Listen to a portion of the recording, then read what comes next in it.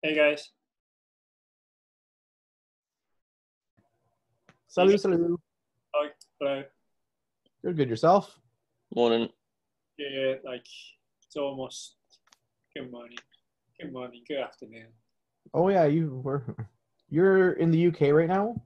Yeah, it's almost eleven. Wow. Yeah, it's late here for me. It's well early. I don't know, six o'clock in the afternoon. Wow. Yeah. And Not then- that late, but like not not the hours people usually do things online. Yeah, and Jeff is I think before almost six, six in the morning. Oh wow. Where are you, Jeff? I'm in Taipei. Oh, I, is that where you, is that where you're Yeah, normally based out of? Yeah, yeah. I'm with been at Taipei for a while. Hmm. Oh, Jeff's frozen. Oh, we lost Hadrian. I think Hadrian is in France.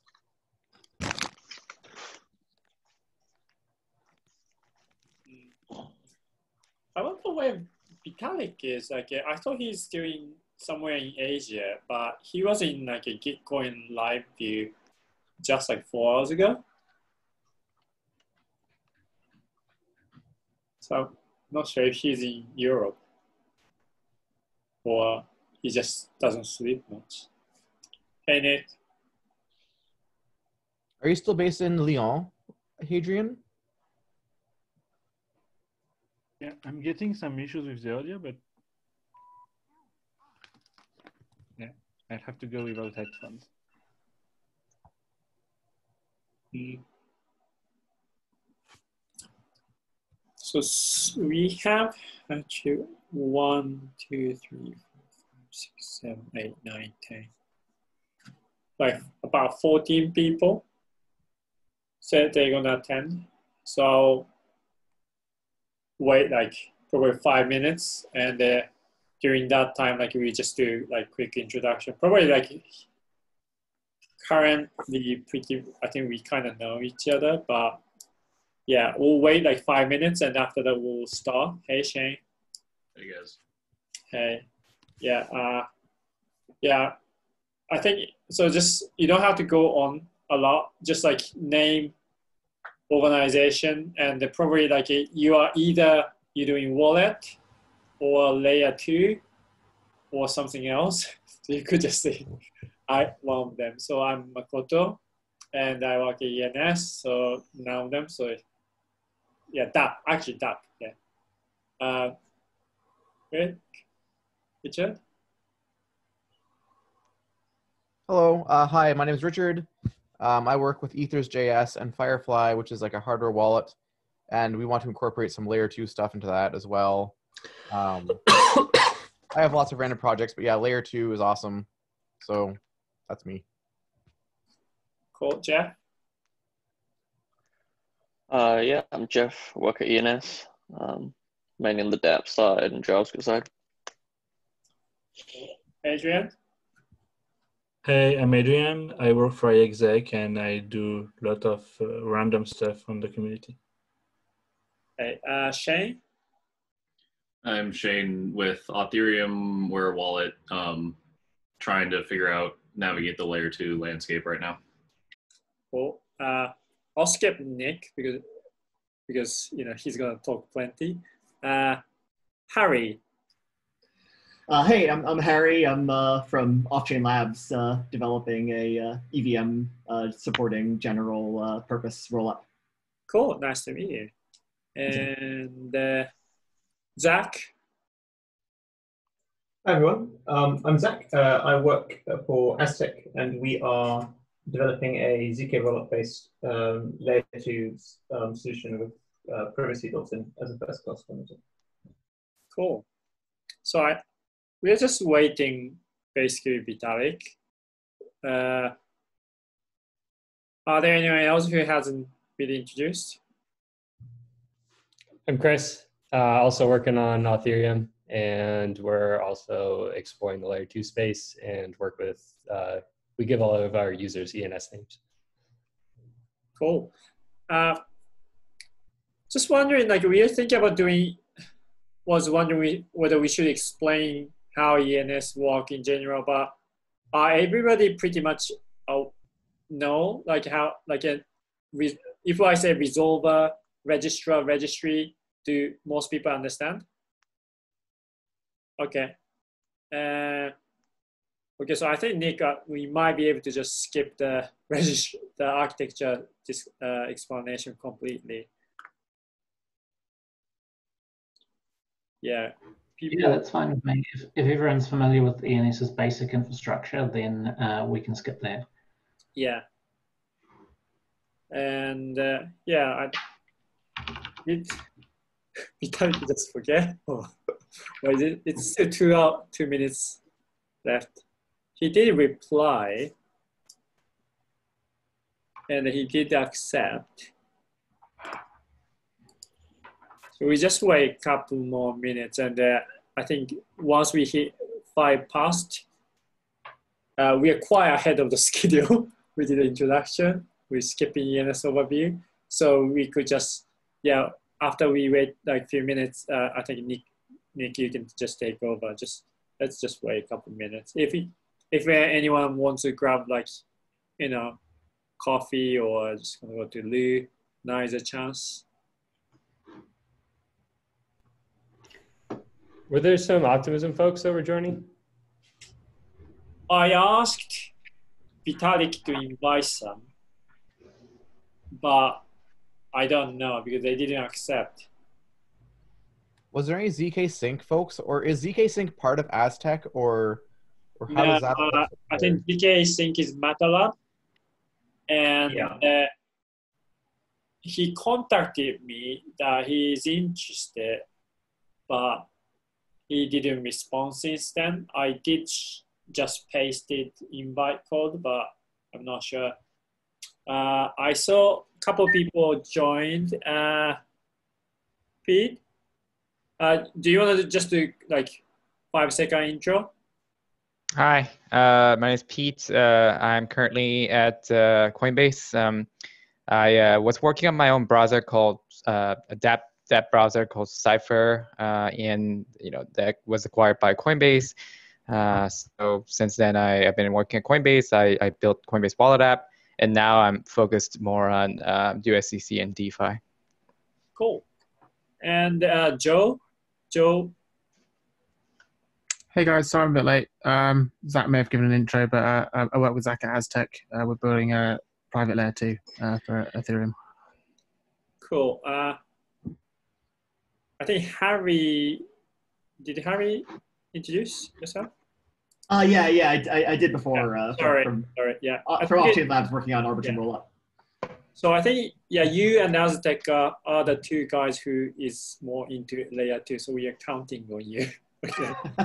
yeah. So I think we, yeah, uh, I think we just like uh, see uh, Vitalik would turn up at some point. If it's not, it's not. Uh, Nick, do you, do you wanna take over? Yep. So here today um, is, uh, you know, we, have been talking about ENS on layer two. It came out at the workshop and we spent a good time talking about it. Uh, Vitalik came out with his proposal for it. Um, I kind of want to set the parameters a bit because um, there's sort of two ways you could look at ENS on layer two. One is migrating ENS itself to an L2 solution, and that's not something we're trying to achieve today. Um, and the other is making sure that ENS works with L2 so it can resolve L2 addresses insofar as they're different from ETH addresses, um, that L2s can do ENS resolution uh, on chain or off chain, and so that uh, basically we preserve a coherent namespace where somebody can have a reasonable expectation of resolving any name in the ENS ecosystem, even though we want to support, say, uh, names being owned by uh, contracts on L2 and things like that. Um, and that's you know reasonably what Vitalik's outline achieves, um, but of course it's not the only possible approach. So our goal here today really is to sort of explore the parameter space, like what ways can we make sure that ENS is available as a preferably as a native naming uh, system, but at least as a built on the platform uh, of all the L2s that are, are blossoming, and how can we do that in a way that doesn't require clients that are resolving ENS addresses to be aware of every single L2 individually. Um, and you know, for example, um, Vitalik's proposal avoids that by having uh, bonded attesters for, for each L2, and the resolver, the client doing the resolving, doesn't need to know, uh, you know, which L2 it's on. Only that somebody who has put up a stake for their honesty said this name resolves to this address or to this text record or whatever other resource there is. Um, so I guess I'd be interested to hear from the people that are here representing L2 solutions, uh, both first of all, uh, whether you think that's a good idea, and if so, like you know that approach is a good idea, and if so, what sort of uh, parameters you'd put around it in terms of um, uh, you know of, of structuring it and so forth, and secondly, whether your L2 solution would be able to work with that idea, whether it would be easy to build a bridge between ENS and your L2 following a scheme like that, and just you know any other schemes you've got uh, that, that suit. So uh, I guess who wants to begin?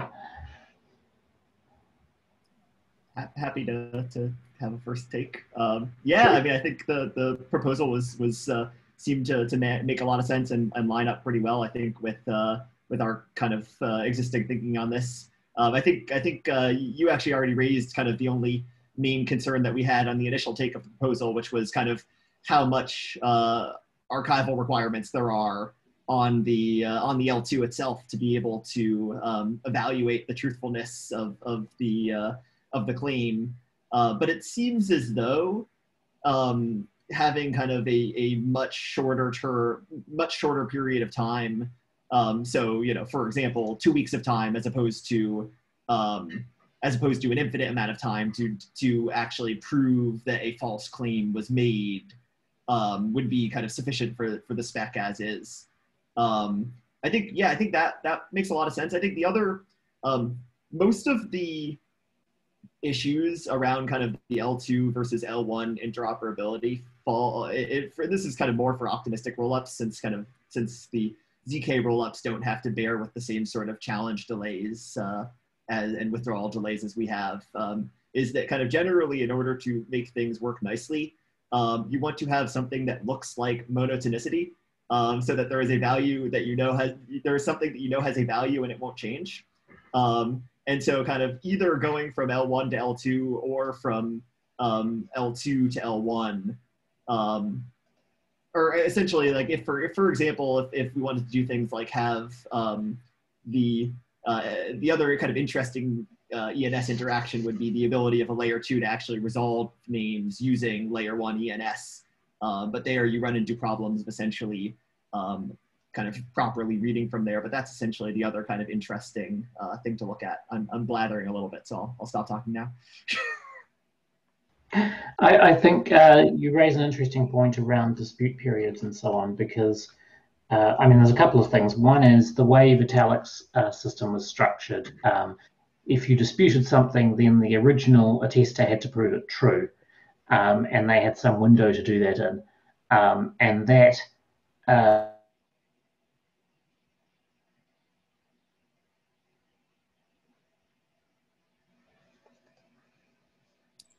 Did we just lose Nick? Yeah, anybody else? Yeah. Oh, you just cut off. Um, by the way, sorry. Um, I would anybody mind? Um, does anyone have a link to the to Vitalik's proposal? Because I I can't I can't recover. I'm yeah, I I find you that. Okay. Ah, cheers. Uh, wait, I, I'm I got, looking. Sorry, I got kicked out for a second. Uh, yeah, uh, what happened? Nick, are you back? Yes. Yep, so I'm, I'm, I'm putting the link in the chat. I mean, okay, those are two different ones, but. So I. I uh, so I, I, was what I was trying to say before something went wrong with the connection. Um, dispute periods are are going to be relevant here because it, optimism based or you know optimistic roll up based uh, layer twos are going to have their own dispute periods, um, which kind of puts a, a timeline on how much we can ask to reach back, as you observed. Um, but it also, I wonder if it has some awkward interactions in terms of um, you can't, you know, if you're sending a message from L2 to L1, which might be necessary to prove the resolution of a name, um, that message isn't available until the L2's dispute period is over, um, which means that you need some, uh, you know, some dispute period that's longer than that. But then you also now you're requiring it potentially to look back further than the L2 expects. So I don't know uh, if anyone who's working on an, an optimistic based roll up has any insights on that. Um, the other thing is deciding whether to structure something like this based on um, challenges requiring the original attester to prove their statement true, or whether the challenger has to prove the statement false. And the problem, like Vitalik's initial solution, does the former. And the problem with that is that potentially an attester could turn evil and do a substantial amount of, uh, of damage before the period they have to prove their first untrue statement uh, true expires. Whereas if you uh, can prove the attester wrong, then you can potentially shut them down a lot faster. Uh, yeah, I also want to ask you. I, I, was a little bit confused about like how resolution is going to work. Like, are we? Does that mean basically we don't have a single source of truth? Um, like, are we going to have to, you know, query multiple side chains essentially uh, to be able to, you know, find uh, to resolve domains? That would, I think, be terrible for user experience and developer experience. Um, yeah, I think explicitly we don't want uh, clients that are doing resolving to have to be aware of every L2. Um, so if you're going, if, if we're going to use something like Vitalik's proposal, there needs to be a network via which a client can contact uh, the attester for a name or an attester for a name and request resolution and get back a signed message without having to care about you know what they're actually attesting for really um, and also a way for uh, other attesters to hear about that request and the signed message that was sent back so that they can challenge things which becomes a data availability thing. And we really don't want to be sending uh, you know lodging every resolution request on chain even as call data. That's just impractical. One one kind of um, sort of general technique, and I think you know when I when I saw Vitalik's proposal, this kind of fit right into to kind of the, the general form that, that we've used before uh, for handling the dispute period. Um, is that essentially um, a you know, and one way to handle this would be um, every whenever the um, whenever the ENS name is, um, whenever the ENS record is updated on the layer two um, to send a transaction to the layer one. And essentially, then what the attester is doing is essentially just staking on uh, the transaction that they know will be output uh, in a certain block. Since mm-hmm. you have full determinism um, from any sort of outside observer who actually is following the rollup protocol. Um, so there is this delay, but it's only a delay in, in Ethereum being updated, not in, in kind of any meaningful sense of finality. But if so you if you're, I'm sorry, go ahead. Are you effectively suggesting that that, that would make ENS uh, name resolution effectively a roll up as well? Um, I don't think so. I mean, it's still in the attester model. It's essentially just that the the attester is not is essentially just attesting to that this this this roll up will will publish essentially a Merkle root of updates um, that will include this information or put another way essentially kind of the yeah kind of more broadly speaking uh, the rollup could publish um, periodic updates uh, with a merkle root of, of all the name records it contains um, and then an attester could just commit that a certain merkle root will be output uh, by the rollup in a certain block um, and you won't know about that until the two week until the, the challenge period is over um, but any outside observer will be able to know what will happen. Um, yeah. So basically, instead of uh, pushing challenge data from L2 to L1 as needed, it's it's all going to be in the roll up anyway. So you can just generate a proof that that data is there when you need it, and exactly. the the knows that. Yeah, no, that's a good point. So um, so uh, I'm I'm familiar with Matic Network just because I'm an advisor uh, for them. But in it uh, for Matic Network, it's a proof of stake sidechain um, with uh, plasma characteristics for certain type of types of tokens. Um, uh, Matic publishes the, validators for Matic publishes uh, the Merkle root on L1 on Ethereum every 30 minutes. So it checkpoints uh, the receipts root and transactions root uh, of L2 onto L1. And with that, you can prove that any transaction has occurred in L2 very easily by creating a Merkle proof. Uh, so that way, like if somebody buys, say, an ENS domain in L2, a Matic, you know, after 30 minutes, it will be checkpointed like on L1. So you'll be able to prove very easily without have to uh, without having to publish every transaction just by uh, using the Merkle root. You can very easily prove that somebody has purchased um, or any other action. You know, like it could be you know associating uh, a domain name to an address that could also easily be proven using a Merkle proof. Um, so that could be a model, and um, you know obviously it's uh, it's not related at all to what Vitalik was suggesting. But uh, the point I'm trying to make is that different L2s behave differently, and uh, I think the the strategy is going to look very different. Uh, and uh, he named it a general purpose L2 friendly ENS standard, but I'll, I feel like the uh, the proposal is very geared towards roll up model. Yes. Well, it certainly it assumes that it, it assumes a system where you can prove the state of your L2 on your L1, which is fits well with roll-ups, although presumably other constructions will, will have similar requirements just for interoperability. Sorry, uh, could you could you repeat what you said?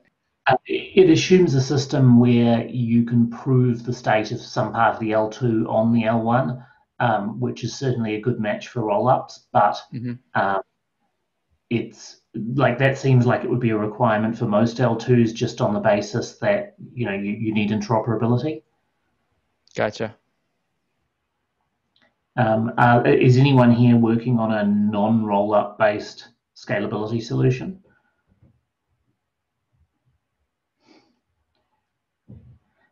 Okay.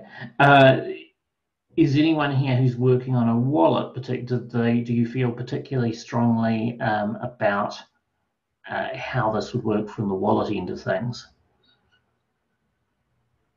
I'm not from the wallet side, but if I may add something here, uh, from the beginning we discussed the idea that the ENS record can be put on layer two.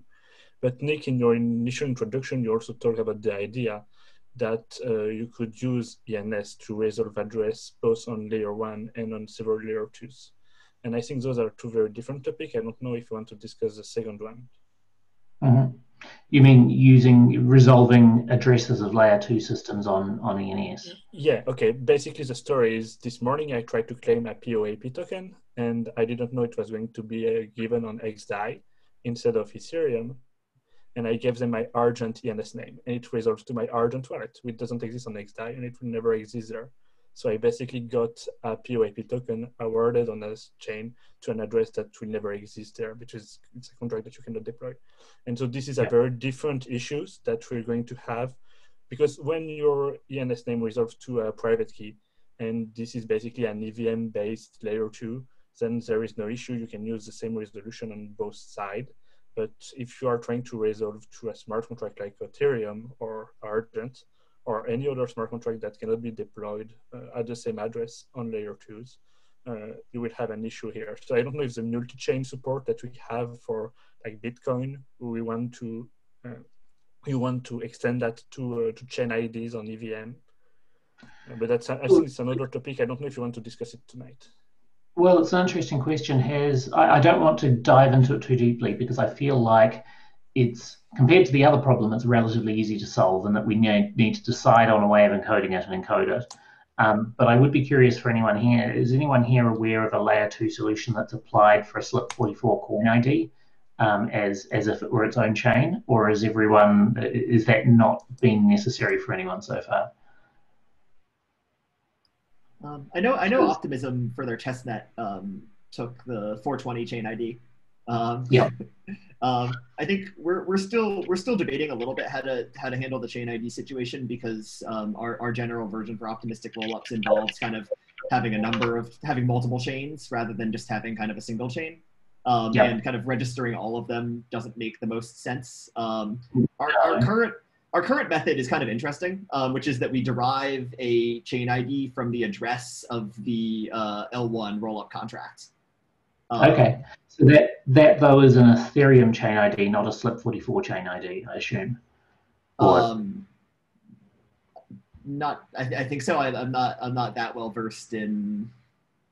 So Ethereum chain IDs are the ones used in the protocol for uh, signing transactions, and then there's Yeah. uh, the next ID. Um, SLIP44 chain IDs are used by uh, multi-coin support for determining what cryptocurrency an address is for. Ah. Uh, yeah. Sorry. so- yeah. I, I'm just thinking about EIP one five five. Yep. Yeah, I'm curious if anyone's applied for the latter because probably we wouldn't want to encode Ethereum chain ID. Uh, well, yeah, we, we potentially could. Uh, it depends on how we're going to identify these things. It seems clear that some, at least some L2s are going to require their own separate addresses. Um, but yeah, I think this is a this is mostly a standardization conversation that we can probably have uh, as a separate conversation um, because we could spend the hour talking about it, but it is uh, relatively straightforward compared to building an entire optimistic resolution system. So I'd like to explore the unknowns here, if that's all right with everyone. Cool. Um, so uh, where were we talking about? Yeah. So um, it, it seems like a solution, like a, a, a proof-based, you know, a, a proof-based system that uses attesters and bonds and so on is is the best basic structure anyone's come up with. Is any, did anyone come along with an alternative vision of how this could work, or should we just continue pursuing the the parameters of this one? Um, My understanding is the, the tester would only be necessary for optimistic rollups. Is that right? Um, it would strictly only be necessary for things where you can't synchronously prove the contents of a, of a resolution, you know, without a bond. Um, but I, the idea would be that you would have attesters for everything simply because your client, your resolver, doesn't want to have to care about each individual network and be able to verify it independently. So in some cases, these attesters will be risk-free. They're like, I will attest that the you know the result of verifying this BLS signature is this because you know there's no risk to me in doing so, um, and I will get paid some trivial amount for doing it. Um, but it, it makes a simpler structure if you simply say this is how all of them work. And then do you know like a pro or like what order of magnitude that uh, bond would be? Um, so that's a very good question. Um, it would need to be substantial enough that allowing a tester couldn't profit by, you know, by, by doing that, and that's how large, large that is depends on, of course, um, the value they could extract, which comes down to, you know, how much could you fish off somebody, which also comes down to how much are people using ENS and what are they using it for. So it's a very difficult question to answer. One possible way to do this would be to allow clients to parameterize I will only accept attestations from an attester with a bond of at least X, and then we can see what evolves. Um, the other big question there is how attesters actually get incentivized and paid for, for staking their tokens, um, because you know you can't unless we stick to a particular L2 for micropayments or something and then pay them all for each resolution. It's unclear how they how they profit directly from that. Just a quick question with this attester network stuff. Do we, a couple questions. First point is like, uh, do we need this kind of bonding network for the connection between the Eth one and the specific layer two? So for example, if it's like a, for the uh, optimism, we need one bonding network. And if for the ZK sync, we need another, and they are kind of completely separated network. That's a first question. And the, uh, this is related to something I actually asked Vitalik just five hours ago when he was online. That I asked that like you know is this something very unique to ENS? So like uh, if some DApp wants to completely different DApp wants to you know take on similar approach, do they have to build this kind of test network from scratch? And then Vitalik's answer was that this could be something generic, so that like each DApp shouldn't really have to build, but maybe th- there's some difference of thinking on your side because it, it, this what I hear is like your what you are proposing is very kind of just focus on ENS. Um, I I guess the uh, one of the param- one of the things I wanted to explore was whether there are existing uh, networks that we, or you know, architectures or libraries we could use for this. Um, the problem, I think, is that this is a subject that things like optimistic rollups have been very carefully sidestepping by using uh, Ethereum as their data availability solution because we need an for this to work we'd need a network with some difficult properties it needs to be censorship resistant um, it needs to be uh, you know easy to, to connect to and and um, and synchronize with in a you know even under the assumption of poor network connectivity and and malicious nodes um, and it needs to be scalable in the sense that we can't simply broadcast every resolution request to every single node on the network. Um, you, so you need, in, in, a nutshell, you need to be able to connect to this easily as a client, uh, send out a resolution request, know that it was received by at least n attesters, um, so that you know the, uh, or sorry, know that it's received by at least one attester who's prepared to answer you, and then know that their response to you was also seen by a bunch of, of potential challengers. Um, and that's quite a difficult set of properties to, to have in a potentially hostile situation because we really don't want to end up in a situation where um, an attester can simply ensure that the, the, resolving client is the only one who ever gets the message. And since they don't know enough about the network being done, they're not in a position to challenge the invalid signature. And so they can get away with sending invalid messages for an arbitrary amount of time. Um, I mean, one potential way to handle things like this is the potential challengers can simply make fake resolution requests. Uh, they can even spy on the actual resolution requests and, and, duplicate them and see if anyone sends them invalid signatures. So anyone trying to cheat here is playing with fire because they don't know if the resolving client is, is stupid or not.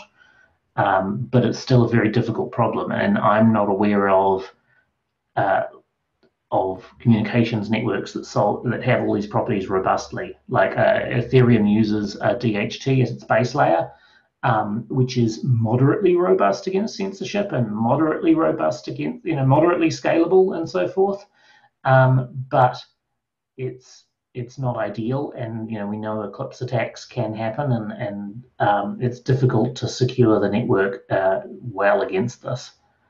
Um, so and that something ENS uh, team has to kind of not just build but have to maintain because there's no shared aspect. If it's like with like you know multiple organization using the same infrastructure, they could have shared responsibility. But it sounds like we have to be the sole kind of people who have to operate and maintain.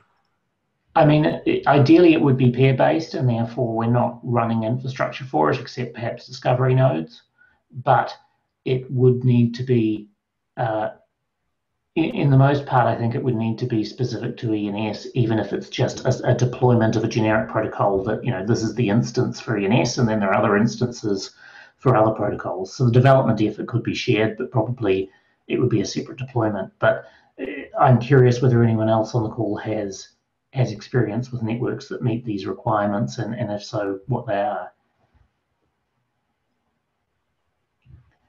Has anyone been working at that sort of layer much? Uh, I'm broadly familiar with, with Ethereum's uh, gossip layer, but um, only at a high level. Okay, so that's something we're going to have to set as a high research priority, really, is because if that's not viable, then then the whole system has issues, really. Uh, one thing I want to kind of correct during the meeting is if there is some knowledge gap, we want to explore who should try to reach out and invite for the next one. For something like this topic, who do you think we should try to reach out and ask for collaboration? It's difficult. I think potentially people who've been working with Plasma would be uh, good contacts because the communications and data availability was a significant issue with uh, with Plasma that, that you know made it very difficult to achieve, and that means they've probably spent a lot of time exploring this this area. How about someone like Giorgio? You know, he was in uh, uh, doing some Plasma with the Loom network. Mm. Yeah, yeah, I can reach out to him. All right.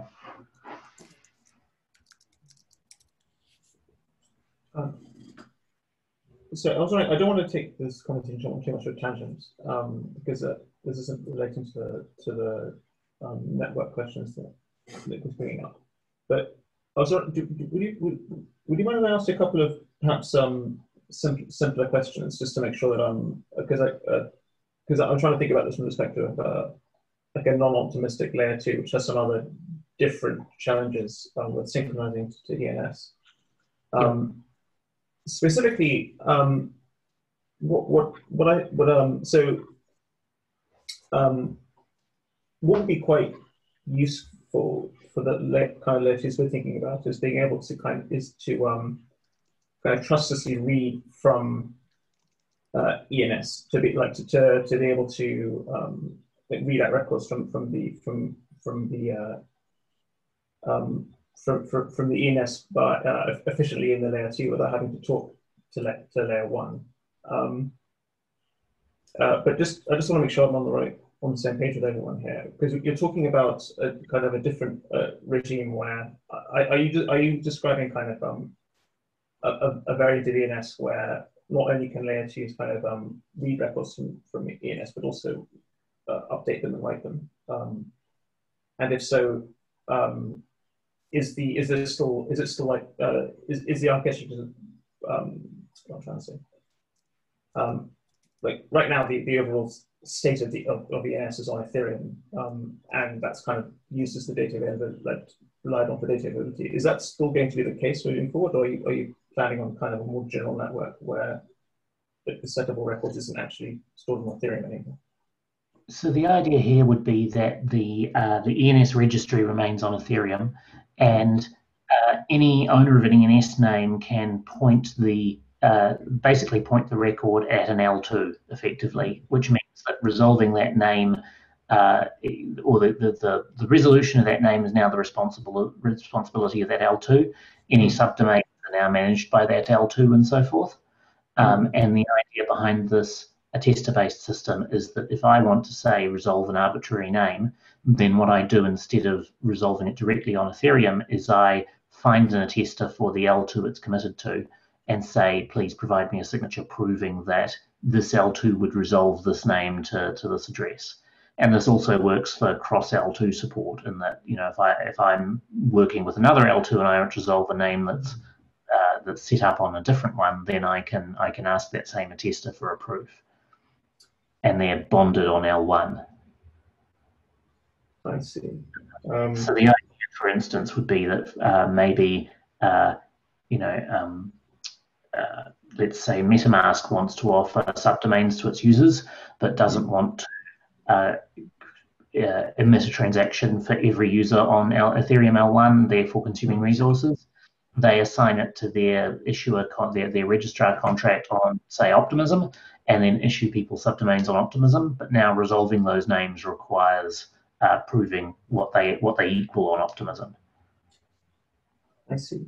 So is is is is, is this is it, I'm just wondering if this is if what I'm about to say is in scope for this discussion or just something that some like not a little bit out of scope, which which is instead of having um, like creating uh, like subdomains for layer two on the ENS, um, what will be quite interesting, I think, uh, for, for, quite well for our layer two. I imagine this this is uh, not just unique to us, but would be to register domains on uh, to, to, register domains on, on L1 during on ENS and have layer two um, rollups be able to directly read that state out um, by, for example, uh, like for example, if if the if, if the ENS registry was a um, SHA-256 Merkle tree, then um, by querying the ENS contract for the root of that, of that Merkle tree, you could then in your rollup, you could then be able to trustlessly um, pull out um, domains from, from ENS. And that would be extremely useful because it, um, for, for, being able to you know, send transactions to actual um, users instead of uh, abstract addresses. Um, so one problem one problem with that is that even if it were a Merkle tree, in order to prove that a root is the current root of the ENS Merkle tree, you would need basically an Ethereum-like client to prove that that is what's committed to in the chain. At which point you could probably just, you know, query the contract directly. Um, the other issue is that ENS has a degree of sort of expandability beyond ju- being just a, a list of names to addresses, and that people can have resolver contracts that can implement arbitrary logic. So you'd be significantly reducing the versatility of ENS if you reduced it to you now have to have a static list because that's all we can support with with lookups. Yeah, I, I, I, totally get that. I'm wondering if there's a possible like translation layer that can be applied that kind of creates a subset of ENS that just has those lookups because um, I mean, the- extremely useful. Yeah, the, the proposal by Vitalik, for instance, would require some restriction of, of the capabilities uh, on L2s in that um, whatever the resolver logic on L2 is has to be verifiable on L1, and that may put constraints on a particular attester's support for you know dynamic resolvers and so forth.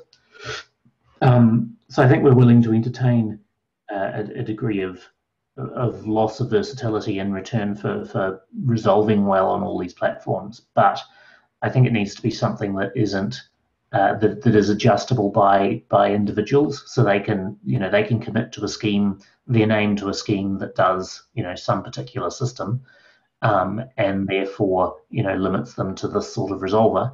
Um, but somebody else could write a better system without us having to redeploy all of ENS um, which is what we would have to do if we were, you know, encoding uh, Merkle hashes of the entire tree of name resolutions, for instance. Yeah, I see that.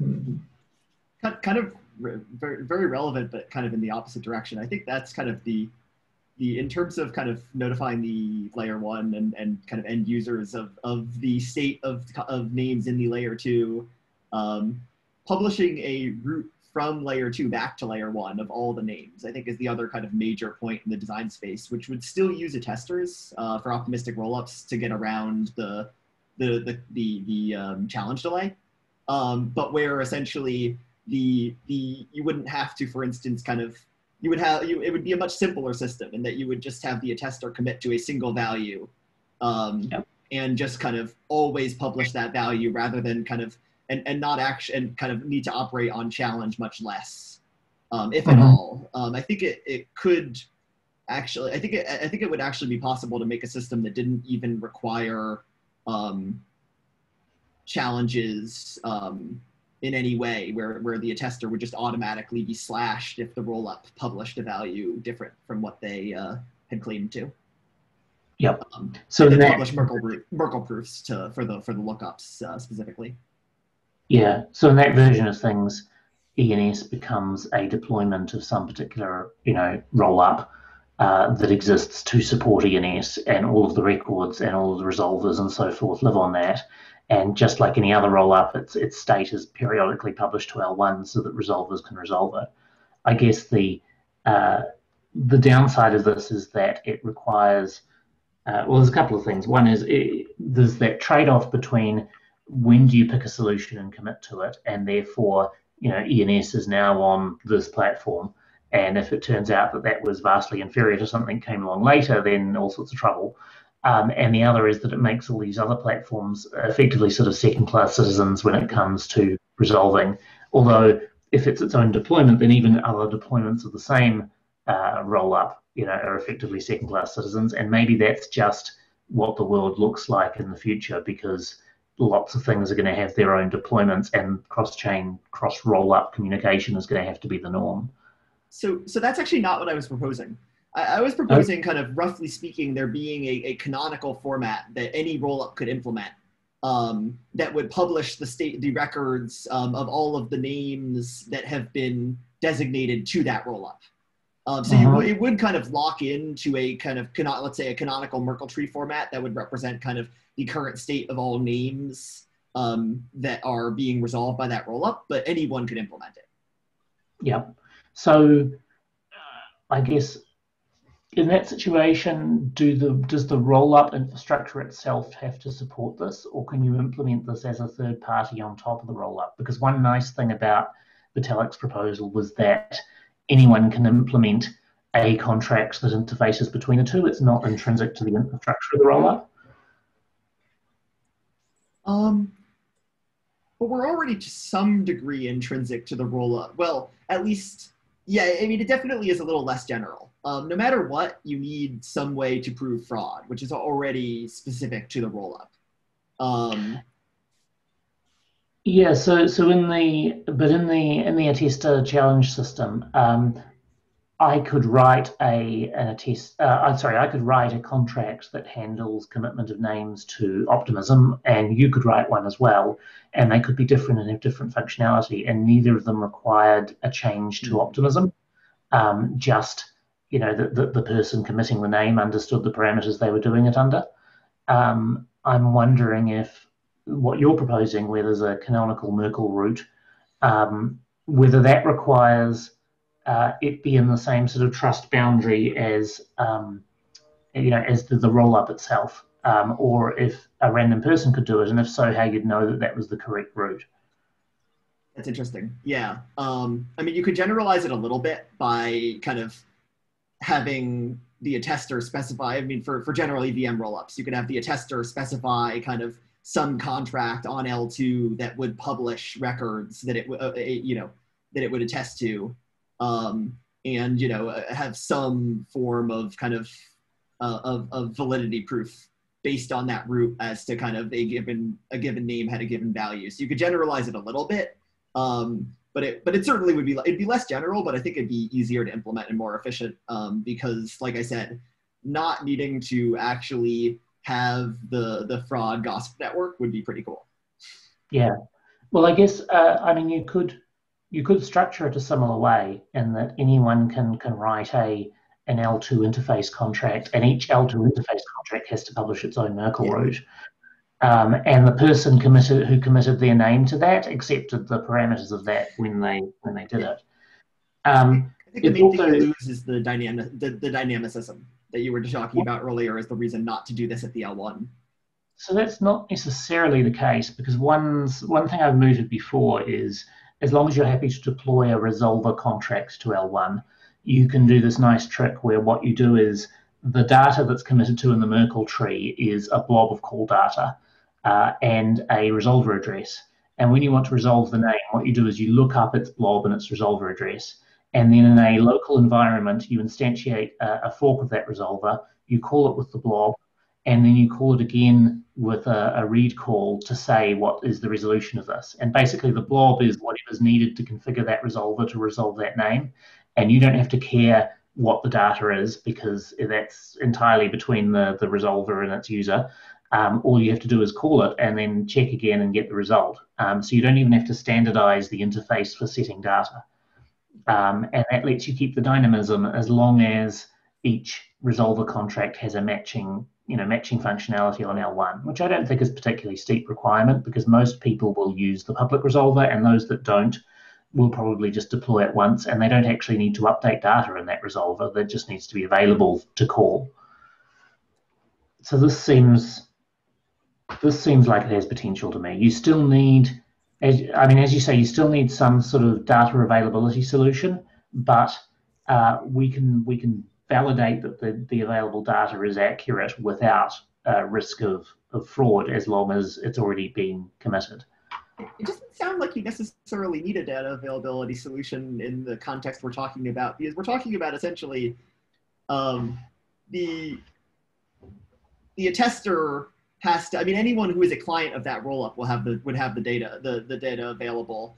And we're talking about essentially the ability to, to validate uh, messages from the attester, and the attester is carrying a proof with them. Yep. So that's that's kind of what I meant was more Yeah. that uh, you need. So uh, a resolving client needs a way to find and contact someone who uh, has accumulated all the data that, that they can construct a Merkle proof from. Yeah. Uh, yeah, and then they, they give it to you, and if it's from a, a recent block that's already passed its challenge period, you just automatically know it's accurate. Um, and if it's still during the challenge period, then they need to be bonded. And if they're stupid enough to lie, then you yourself can prove them wrong in an hour or something. Um, and you know, maybe uh, you know, if you you aren't sure that your client's going to stick around for an hour, you can have a service where basically you send them a copy of every resolution you do, and if they find some fraud, they give you a chunk of the, the deposit, and you know, in return for them sticking around long enough to check. Yeah, and I, I think you could even make it so that the the proving of fraud would be fully automatic. Um, that the when the rollup block commits, it, it synchronously makes sends the root to some contract um, that would trigger the slashing of the attester uh, potentially, um, which would Well, simplify it a little bit more. Yeah, you only know fraud happened if the um, uh, if you know what the resolutions, the signed messages were, and those won't typically be on chain. Ah, no, but the signed messages are pro- are are um, are proofs against the Merkle root. So the Merkle root is on chain um, Yes. and published periodically, and, and so you don't even need to sign anything beyond that. Um, you just need a Merkle proof. Right, but in order to know pro- fraud happened, you need somebody needs to submit a signature by one of the attesters for a fraudulent Merkle root. Um, you can't automatically detect that they signed a, a fraudulent one. Yeah. Oh, I guess I was imagining in this scheme um, something with a little more on-chain interaction, where the attester would actually publish uh, transactions to kind of update their current root uh, periodically. If you didn't want to require that publishing, then you would need someone to to. Um, Yeah. Well, the nice thing about not requiring the publishing is you don't have the delay. Um, you know, you can you can resolve immediately from latest data. Um, although, you know, I, I would make the argument that potentially uh, a delay, even of a few hours, like I don't know what the typical challenge period is for some of these L2s, but a delay of an hour or two may well be acceptable. Like we put up with it all the time in DNS. Um, you know that you know your name will take a little bit a little while when you change the resolution of it. Uh, just sorry for interrupting. Uh, it's about 12 minutes left. And do you want to carry on this conversation or do you want to touch upon other topics? Especially, I think now there's a call from Optimism is online. So we could diverse conversation a bit. Um, yeah, I mean, I guess we can dig into this a lot in a lot more detail later. Uh, I'd be interested to hear what people other than the two of us have to say about it, whether you've you've picked up any insights and so forth, and then we can talk a little bit about like, how we can continue this conversation to to actually building a solution. So I actually have a quick question, if that's okay. Um, it sounds like y'all are talking about building a roll-up specific for ENS, or is this, um, uh, yeah, what, what, what, like, because you were talking all about, uh, you know, posting these these proofs and these challenges, and you were saying, do we post the data? And that sounds like a kind of a plasma solution. Um, so is that is this because I think it's actually very reasonable. In fact, ENS on a plasma like is actually a pretty reasonable um, thing to to build, um, especially because ENS can be like very lightweight and you know you can like design it specifically so it's easy to verify in the browser and you know you can just like do a lot of fun stuff. Um, is that kind of the direction that y'all were talking about? Uh, so that was what I initially thought was being said, but it's it's actually slightly different. The idea is that uh, you can use existing rollups. Uh, a contract on them can post a, a Merkle root of ENS specific state to a contract on L1 by using you know whatever the whatever the L2's sort of push to L1 functionality is, um, and then resolvers can use that state directly. So it, it meets sort of the definitions of a rollup, but you don't have to run your own rollup network. You can interact with this from any L2 of your choice. You and and it, it benefits from all of the infrastructure they've already built. Is that a, fair description?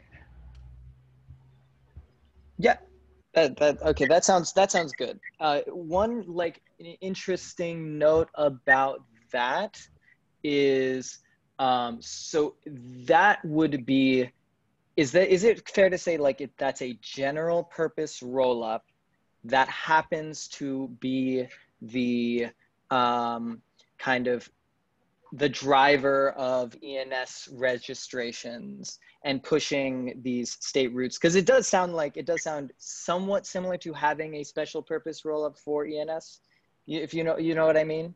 Um, The difference here is that each name owner could commit their name to a specific L2, and then that that name and all the names under it would have a, a Merkle root. Um, so the base registries exists on L1 and then just subtrees on each on each L2. Similar to the Beautiful. Solution suggestion, but with uh, you know proactive rather than reactive, I guess. Nice. Yeah, I, lo- I I'm a big fan of that solution. Yeah, some like very like small top level domain for all of these different rollups, and then each one can have their own subdomains. And yeah, perfect. I, I'm a big fan.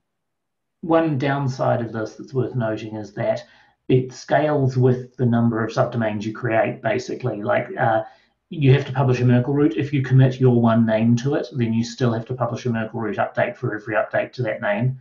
Um, so it doesn't work so well for you if I mean, well, so that's yeah. You could have a you could have a setup where you commit a dozen second level .eth names, and you only have to publish one update for all of those. Um, but if you commit, if you write your own solution and commit only your name to it, you don't really save anything. You only save stuff insofar as multiple people use it. Um, you still have to commit that one word of one word every update. Yeah, yeah, but that seems fine. Yeah, I think I think that's reasonable in that just like the public resolver, most people will use the same thing. Um, it's worth thinking though about the the trade-off between latency and, and efficiency. Uh, you know, if most names are only updated rarely, even if there's a thousand names on a particular roll-up, if you make a change, you might be, on- be the only person making a change in a one-hour window, and therefore you pay the full cost. I see. Yeah, and and also generally having the latency for these, you know, if if if most resolution is happening just through L1, yeah, yeah, I do think it kind of sucks to not be able to like resolve immediately. Um, you know, once you've registered on an L2, you know, being able to go to whatever your subdomain is. Um, Well, that's kind of that's kind of down, you know, sad. that is, that is where the attesters can potentially come in. They can say, "I am I am staking my bond on the fact that this will be a future Merkle root," um, which complicates a little, but gives does give you that. And and then that gives the the clients more flexibility in saying, "Yeah, I am okay with waiting a day or something for for other updates to accumulate to save on costs." Yeah. It, it does sound like something that could be something that could be handled within the layer two in question. As, as you said, like if they want to tolerate, if they if, if they use if they if they want to support a low latency, then you, you kind of the layer, the layer two can have its own internal management of pending yes. Updates that it's going to push to to, to ENS. Yep. Yeah. Um, but then if the if we did something with the the bonding and the attesters, which is very low risk, uh, you know, for the attesters because they they are you know aware of the future state of the system, um, then you could potentially very much relieve the requirements for uh, for you know low latency. Um, because you don't really care that it hasn't been published to Ethereum yet, um, because you know that it will be. To to reduce the potential bond of the attesters, can I um, set trusted attesters in my text records or something, and only be able to resolve with certain attesters that I trust? Say there's like a federation of five companies that run attestation nodes. Can I specify I only want them, uh, and thus like reduce the bond size that could be problematic? Yep, I I can see pros and cons to that. My reservation is that that uh, the ultimate end point of that is something where basically you're just using an HTTP server to resolve your name and uh, you know relying on someone else to tell you about it. You know your bond is zero, um, and the, advantage of that system is it's very simple. The disadvantage is it's it's uh, effectively equivalent to like storing your coins on an exchange. You know, you're entirely reliant on their security and, and competency. Um, but we can, I mean, we can allow people to make that trade off. The problem with exposing levers like that to people is that they um, they mostly don't care about them and they don't want to interact with them. They just want name resolution to work. You know. Um, but I guess yeah, and once again, if, if you have a hundred percent chance of being caught as an attester, if you're fraudulent, then you you really have to know that you're going to make more off your fraudulent activity than you do. It's a much simpler game. I'm guessing these are tester contracts as well. Like the, the interface will be well defined, but the implementation will be up to the roll-up in question. Um, because for like for, for zk rollup, um, yeah, as long as you have on-chain data availability, then then obviously you can uh, you can trustlessly uh, prove the correctness of the state updates you're going to be posting to ENS.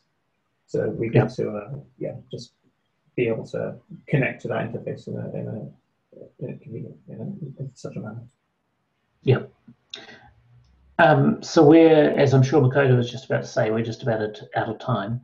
Um, I will write up what we discussed today, in particular, focus on the the Merkle root approach as a variation of you know uh, of, of how to do it and its pros and cons.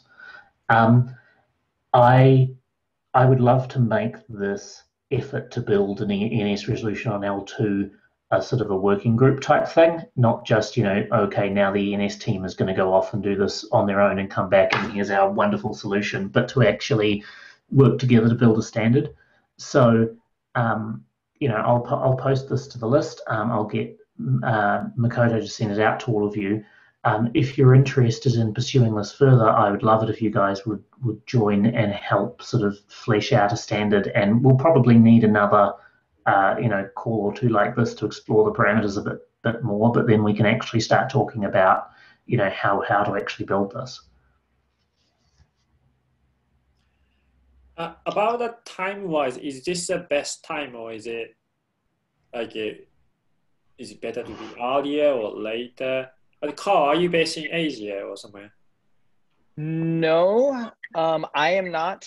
Um, I, I know some folks are, but it's a fine time for me.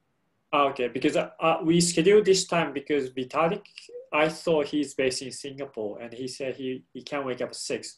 But if Yeah. that's not a constraint, we can even make it earlier because we dropped some of the European participant because it's quite late, like uh, London 11, but I think uh, France it's 12 midnight. Would, would that be a problem if we do a bit earlier or? or is it don't better think for for me. Okay. Well, we can discuss timing, I think, later, but okay. Yeah, we can we can put together a doodle for people who are, are willing to you know continue this further. Okay. Uh, any last notes from anyone?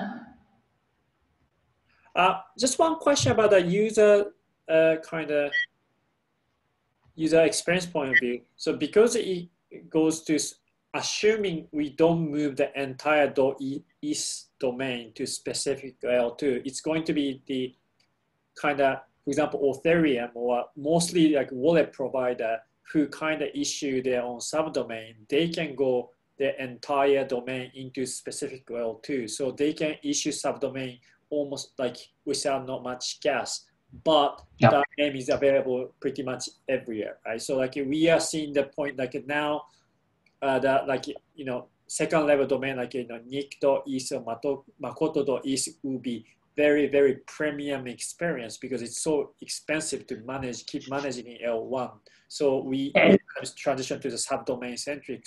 Uh, Yes, yes and no. Uh, like as a as an end user who wanted to register a domain to say host your website that's updated every day, you might register it and immediately commit it, like in the same transaction, to a particular L2, so that all your content updates can go there, um, and therefore you can you can save on fees. So I think in this vision, uh, registering and renewing a .eth domain will always be an L1 operation, um, but everything after that you could easily commit to a, an L2 solution.